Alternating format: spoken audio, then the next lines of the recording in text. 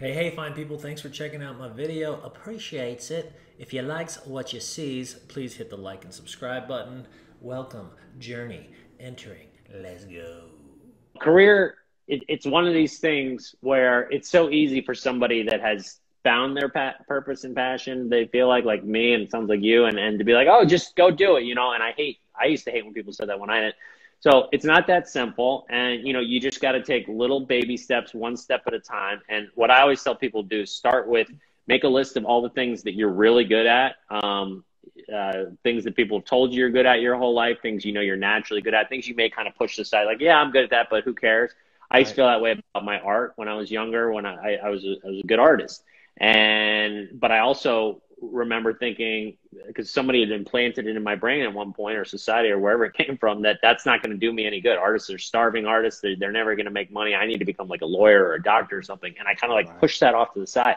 And it wasn't until years later that i actually realized that not only is that something that i need to make sure is a part of my life but that's actually what i can use to help propel my career and my finances. And so everything I do has a creative element into it. I'm not necessarily always drawing stuff, but I do some of that stuff and I but it's the creative side of my mind I'm constantly using and that has helped me. So you want to make that list of these things that are you know you're you're really good at and then also those things like I said that you're really passionate about. Like and, and don't just don't judge yourself. Just write them down. If you're passionate about movies, write about write that. You know, just just just don't overthink it. Write them down right. and then just start to think, okay, you know, what what can I do with this? And it may not come overnight, but just be thinking about it and be looking at these li- this list and and continue to let it dwell. And it's going to sink. I promise you, it'll come to you, and you'll be like, okay.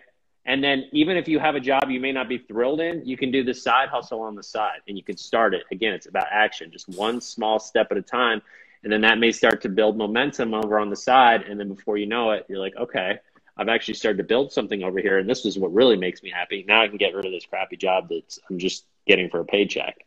Right. And um, so, I mean, yeah, it, it's it's it's easier said than done. Obviously, it's, it's you know a lot of people will say just go out and do what you love, and I, everybody's got to pay bills, especially now things are tough. But I promise you, if you can figure that stuff out in terms of what you really love, what you're passionate about, and try to, you know, the word purpose I don't love, but I use it uh, you know, because it's it's very intimidating word. Like, what's my purpose? Well, right. To me, it was more like so. I sold my company, and it felt amazing for ten minutes, and then I was like, okay, now what?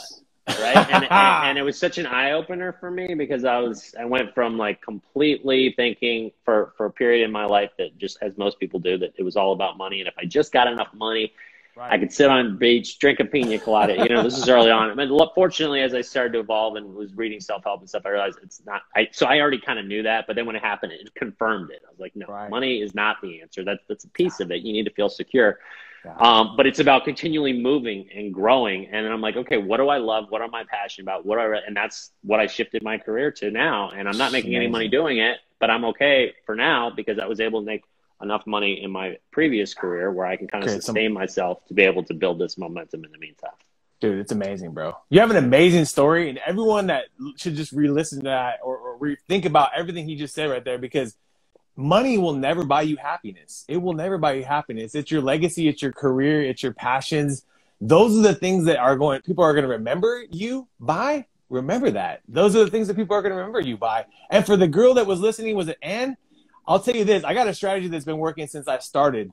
If you want to get a job somewhere, okay, this is a real simple tactic you can do. Two things. First thing is follow the business page on social. Follow them on social, whatever platform you like to use Instagram, Twitter, or wherever they're at. Sometimes businesses are not on every page, but wherever they're at, follow them, right? And start to engage with their posts. A lot of times you'll actually find that some of the top level management, CEOs, owners, and actually in some small businesses, that's who's managing the social and then a lot of times it'll be the head marketing director, et cetera. And if you make a good impression there, not only would they might want to hire you actually on the social media team, which I've actually seen happen, they might actually want to hire you in the business for that job because you were just so passionate about their business, willing to help them out, sharing their posts, commenting, engaging on them. And then the other thing you can do a next step Good further enough. is find them on LinkedIn, Will. Find these top people on LinkedIn that own these businesses. Uh, a great a point of advice was to me recently was actually if you want to sell your business, find out seven people that, that you seven people that you would want to sell it to. right? So think of seven, you know, possible people that would acquire it, and then do this: go three people deep. Who are the top three people in that business that would be the most influential people that possibly that I could influence to help maybe get mm-hmm. that acquisition? And you could probably find them on LinkedIn. And so you could do the same thing with the business if you wanted to not only sell your business, but if you wanted to find a job, is go deeper than just engaging. Now find these people on social and then engage with their personal posts on LinkedIn. And it's a winning strategy. I mean, it's personally a winning strategy. It's not going to happen overnight. Right. But why not try? Like, what the heck, dude? Like, why not try something? Yeah. Just take literally... the action, and, and, and you never know where it's going to lead. You got to be proactive in life. If you're a, I call it, it's the victim, a fixed dude. victim versus a growth owner. If you're a fixed victim, you're like, poor me. I'm just waiting for the end for the to win the lottery or for it to all be, you know, be done retirement so I can get my retirement check. Like you're, you, you've already lost before you've even started. But if you're like that growth owner that's like, I got everything within me to kick ass, take names. It's only a matter of time. Obstacles and roadblocks. I'm going to do it. I'm going to get there. Yep. All I got to do is put one foot in front of the other, keep taking action, be proactive, and it'll happen. That is the formula for success for That's every right single person that has ever succeeded. I promise you. And it's not rocket science. It's just continuing to take that action. And if you get a no, if you get rejected, just knowing in your heart, because like I said, when you tie it to your passions and your strengths, like, okay, well, yep, that didn't work, but I'm going to use that failure as a mm-hmm. learning experience and I'm going to grow forward from it. And it's that's that's very tough to do when you're doing something or chasing something that you're isn't genuinely in your heart something you want to do.